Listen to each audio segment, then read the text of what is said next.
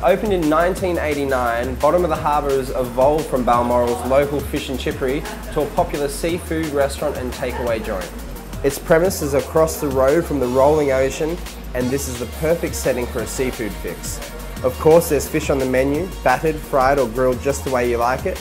But while you're here, also try out the burgers. They're fantastic. So if you're after a great fish and chip restaurant, Bottom of the Harbour, Balmoral is perfect for you. This is Matt with Big Review TV, and check you later.